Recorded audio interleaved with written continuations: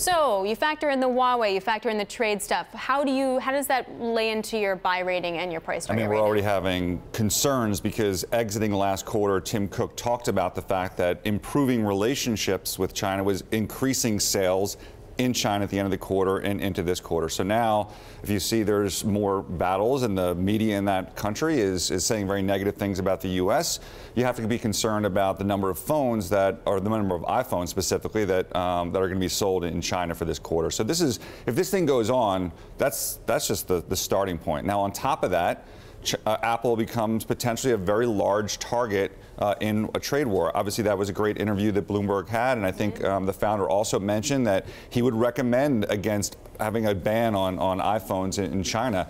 That's a positive sign, but that doesn't necessarily mean that that is not a risk that is off the table just because the founder of Huawei says he would be against it, right? So, so how do you factor that into your buy rating and your price target? We just have to watch this day by day. It's it's interviews like that over the weekend and, and what the latest tweet is from the president or you know any of the other other news stories. In the meantime, you take a look at okay, look if they sold fewer phones in China this quarter, maybe Apple performs at the lower end of the guidance range, mm-hmm. and then numbers come down for future quarters. If it, if it becomes a more probable risk of a some type of, of tariff in the U.S., which is a big chunk of, of, of Apple's revenue, um, or a ban, then that's going to be a more dramatic impact on earnings and, and the valuation. Now, remember, Apple stock since these since the quarter when things were good has was trading at, at par with the market, and now has come back to a 20% discount. So some of this has has actually already priced itself into the into the valuation of Apple. They obviously have a big share repurchase program. They're going to buy 20, 25 billion dollars of stock every quarter, so they're taking advantage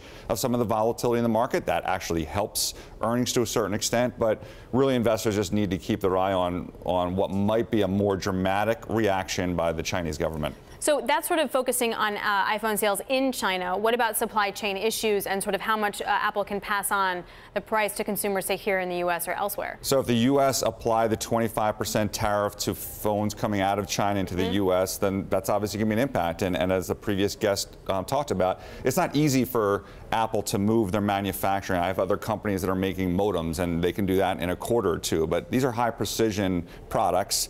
There's a million plus people uh, in China making these products, so it would take some time. I think there was some news reports last week where Tim Cook's already talking about using Pegatron in perhaps Indonesia. This is his expertise, supply chain. So this is what one of the reasons he was selected as the CEO of Apple. So we'll see the moves that he makes, but again, it can't be something that they do overnight.